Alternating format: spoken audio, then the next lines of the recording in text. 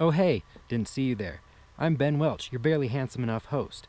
Today is uh, Wednesday, January 30th, also known as payday, so I'm $400 richer. What you know about that? I'm here today uh, chilling in front of Buckhorn.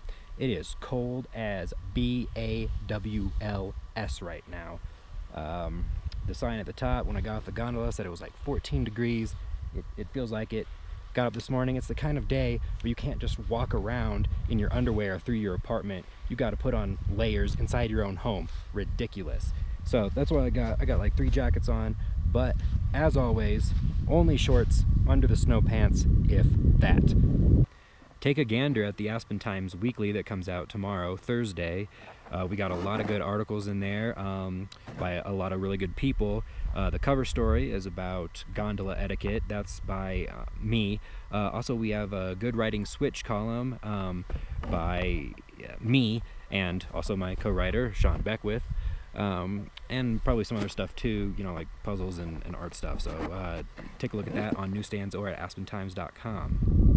We are going to do a lap through the buckhorn trees, which are probably going to be really sketchy, but I have to do something impressive. So uh, if this doesn't work, love you, Mom. I love you, uh, Min from season one of Barney and Friends, who I assume is now a 30 something year old woman. Here we go.